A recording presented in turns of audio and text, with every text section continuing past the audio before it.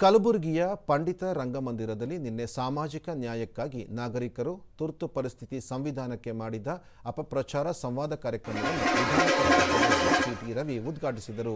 ಈ ಸಂದರ್ಭದಲ್ಲಿ ಮಾಜಿ ಸಚಿವ ಎನ್ ಮಹೇಶ್, ಸುಶೀಲ್ ನಮೋಶಿ, ಶಿವರಾಜ್ ಪಾಟೀಲ್ ರದ್ದೇವಾಡಗಿ ಮತ್ತಿತರರು ಉಪಸ್ಥಿತರಿದ್ದರು.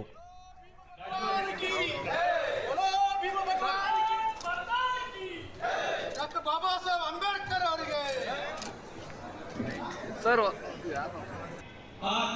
ಈ ವೇಳೆ ಸಿಟಿ ರವಿ ಮಾಜಿ ಪ್ರಧಾನಿ ಇಂದಿರಾ ಗಾಂಧಿಯವರ ಅಧಿಕಾರದ ಆಸೆಗಾಗಿ ಇಡೀ ದೇಶದ ಮೇಲೆ ಕರಾಳ ತುರ್ತು ಪರಿಸ್ಥಿತಿ ಹೇರಿದ್ದರು ಈ ವೇಳೆ ಅವರು ತಮ್ಮ ವಿರೋಧಿಗಳನ್ನು ಜೈಲಿಗೆ ಕಳುಹಿಸಿದ್ದರು. ಆದರೆ ನಂತರದಲ್ಲಿ ಅಲಹಾಬಾದ್ ಹೈಕೋರ್ಟ್ ಮಧ್ಯ ಪ್ರವೇಶಿಸಿ ಈ ಬಗ್ಗೆ ತೀರ್ಪು ನೀಡುವಂತಾಗಿತ್ತು ಎಂಬುದನ್ನು ಸ್ಮರಿಸಿದರು.